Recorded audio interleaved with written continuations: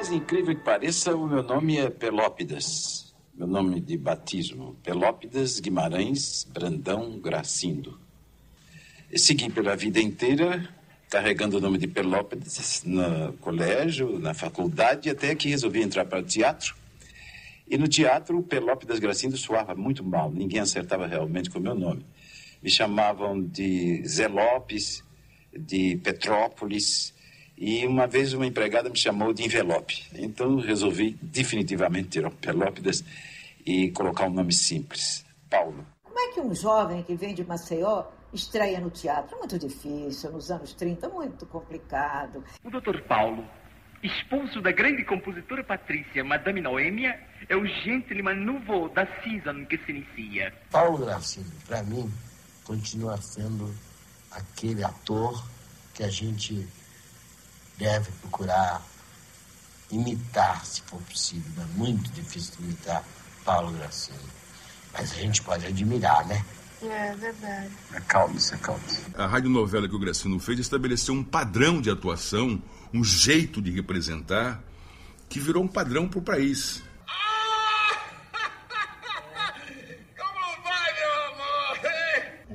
O homem mais completo do rádio brasileiro foi Paulo Gracindo. Eu te amo tanto. Esqueça o mal. Que seu pranto. Pense só no bem.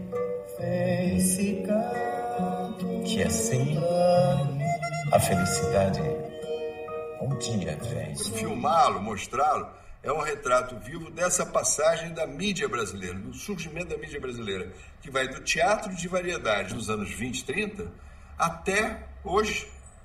Então isso é muito valioso.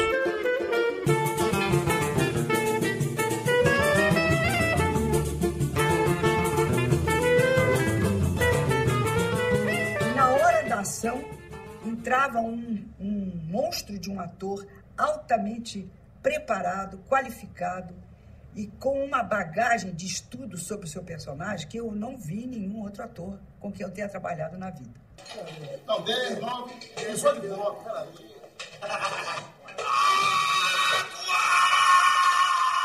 Paulo Gracindo é uma das minhas mais profundas e antigas admirações. A vida não é mais do que isso. É só fazer sofrer os que mais a gente ama. Começa a aparecer uma, uma, um, um, um, um Paulo Gracindo mais solto, mais sacana, totalmente diferente de tudo que ele tinha feito antes. Misturar bicho com defunto. Até que é bem bolado. Mas aquele velho sacana só pode estar por aí. Ele deve estar por aí olhando e piscando com o olho só. Onde é que vocês vão indo com essa televisãozinha de hoje? Eu falei que ia dar nisso. Ladies and gentlemen, let's put aside the, the howevers and go straight to the endlessly. I am here to kill the snake and show the stick.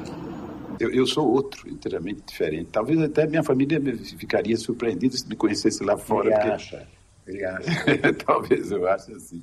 Ele Você acha que conhece bem ele, né? Claro, a gente se conhece profundamente. Naquela mesa ele sentava sempre e me dizia sempre o que é viver melhor.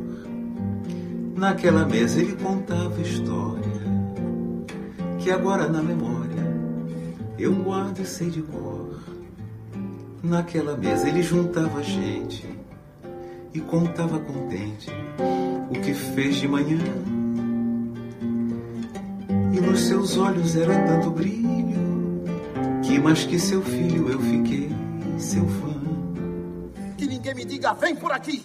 A minha vida é um vendaval que se soltou. É uma onda que se levantou. É um átomo a mais que se animou.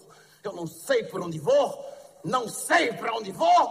Sei que não vou por aí.